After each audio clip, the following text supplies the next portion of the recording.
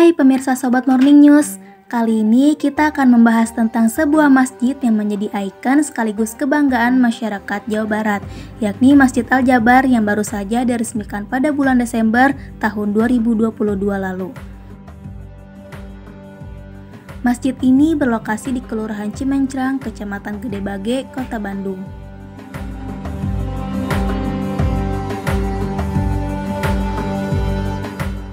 Sejak diresmikan oleh Gubernur Jawa Barat yaitu Ridwan Kamil pada tanggal 30 Desember 2022, Masjid Al-Jabar terus diserbu pengunjung dari dalam dan luar kota Bandung.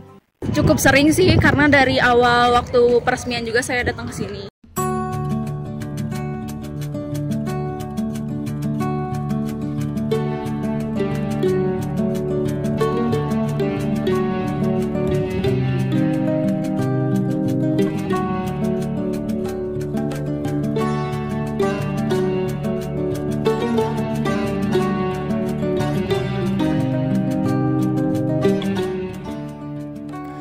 Pintu utama masuk Masjid Al-Jabar terdapat simbol-simbol kejawa baratan yang berbentuk megamendung batik dari Cirebon yang dikombinasi dengan geometri Islam sebagai pintu utamanya. Sementara di dalam Masjid Al-Jabar juga terdapat sebuah museum digital yang berisi sejarah Rasulullah dan sejarah Islam Nusantara.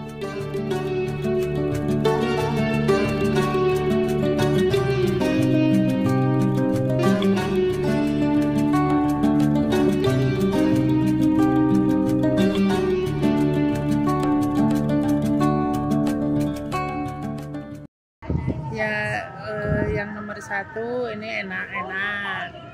Yang nomor dua ya sambil resepsi sambil ikut ibadah sholat gitu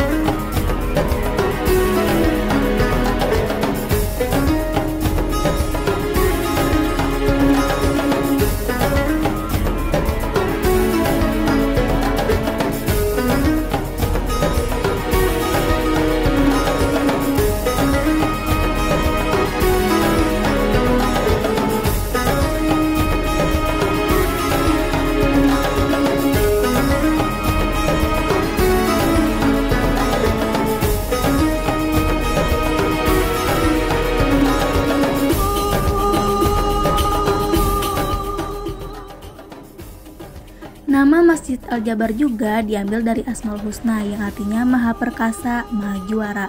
Sedangkan dari nama Jabarnya sendiri adalah singkatan dari nama Jawa Barat.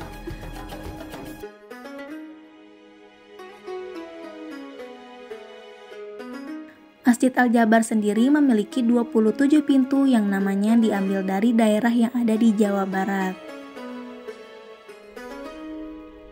Memasuki bulan Ramadan tahun 1444 Hijriah atau bertepatan di tahun 2023 ini, Masjid Al-Jabar selalu ramai dikunjung. Apalagi di sana terdapat tajil gratis setiap harinya. Sementara itu, orang-orang pun antusias melaksanakan sholat tarawih di sana.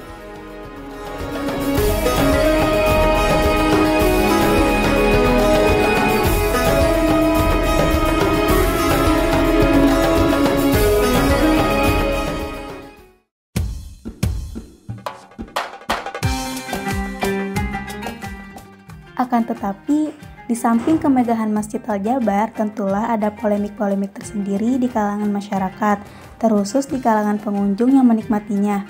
Saat bulan Ramadan ini, Masjid Al-Jabar berbeda dengan awal peresmiannya. Masjid tertata dengan baik dan di dalam masjid juga tidak ada para pedagang yang berjualan, sehingga menjadi panorama yang bersih dipandangnya.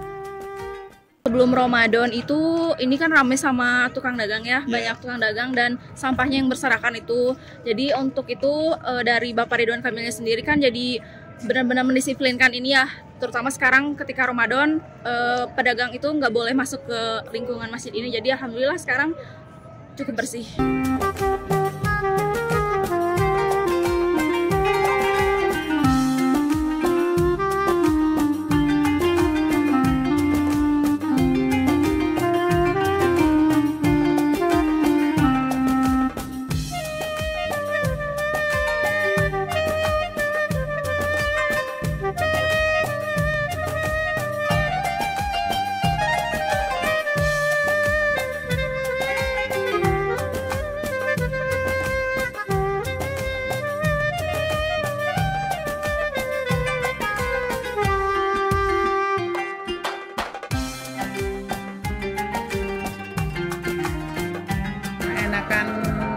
Kayak gini gitu ya bersih gitu terawat yang nggak ada yang ada jualan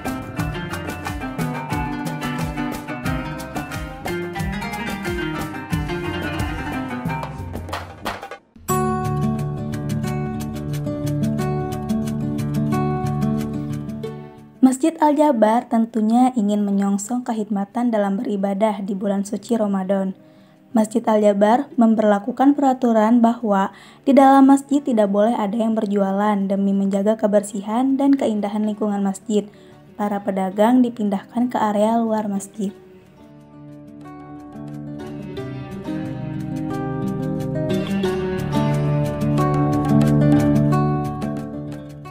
Ya kalau misalkan kayak kemarin di dalam mah ya pengunjung banyak, alhamdulillah ketutup semua. Kalau di sini kan sekarang pengunjungnya kurang, otomatis yang daerah yang belinya kadang ada pengunjung satu dua gitu. Kan udah harusnya ngerti ya semua ibu-ibu apalagi itu tempat ibadah pada bawa makanan jauh-jauh ke sini mau ke masjid bawa makanan makan terus foto-foto nggak masalah. Foto-foto mah ya pemandangan enak. Tapi ini bekasnya nggak ngerti. Kita kasih tahu kayak gimana gitu. Padahal mah dianya harusnya tahu diri gitu. Dulu mah waktu di dalam ya lumayan gitu ya. Bisa buat makan bisa apa aja. Di sini mah boro-boro buat makan juga udah alhamdulillah kadang-kadang ngelirin modal segitu nggak balik lagi gitu. Terus kita juga buat stay di sini juga kadang-kadang nggak boleh gitu. Jadi bingung mau jualan di mana gitu. Jadi nggak ditempatin belum gitu belum ditempatin. di tempat di sana cuma orang di sini nih Iya, ya kalau orang-orang penduduk sini bisa. yang utamain. Jadi kami yang jadi luar bingung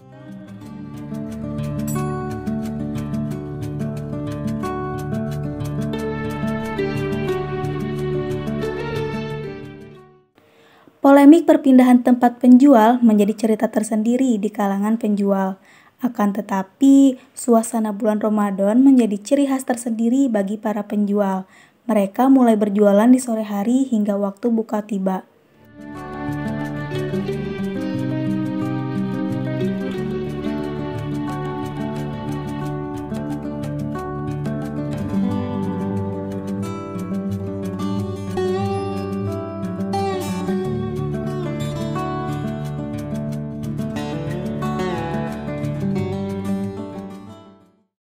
Pindah mah kalau saya bagi saya mah di sini insya Allah nggak akan pindah di sini aja. Nggak tahu kayak yang lain. Kan ada yang ditempatkan orang daerah sini di belakang sama yang di sini itu harus bayar. Sedangkan kita kan jualan gini mana mampu buat bayar kontrakan lebih baik gini aja. Mau kalau nggak bisa kan nggak boleh ngasong ngasong tapi nggak ke dalam kan gitu posisinya. Kita mah ngerti sih nggak tahu kalau yang lain lain. Alhamdulillah banget mau itu kalau ada jatah mah. Itu yang mau di, yang diharapkan. Ya dan dengan sesuai dengan pelaturan juga pasti kami siap gitu buat pelaturan selanjutnya mesti apa-apa-apa gitu apa kebersihan apa-apa gitu ya teh. Padahal pedagang mah sampah mah suka dipungutin Iya, digesekin, dipungutin. gitu. dikumpulin. Terus kan tiap jualan juga kami dibuat sampah itu bayar. Gitu. Sehari lima ribu kalau weekend sepuluh ribu semua pedagang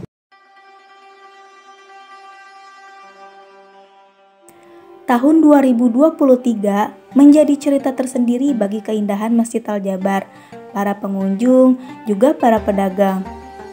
Dari Masjid Al-Jabar, melaporkan.